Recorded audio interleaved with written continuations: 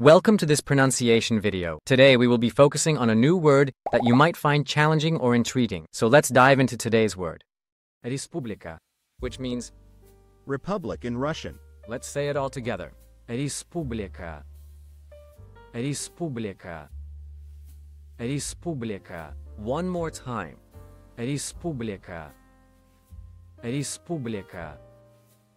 Respublika. Thank you for joining us on this adventure in pronunciation. Remember, language is a journey, not a destination. Keep exploring, experimenting, and expanding your linguistic horizons. We'll see you next time.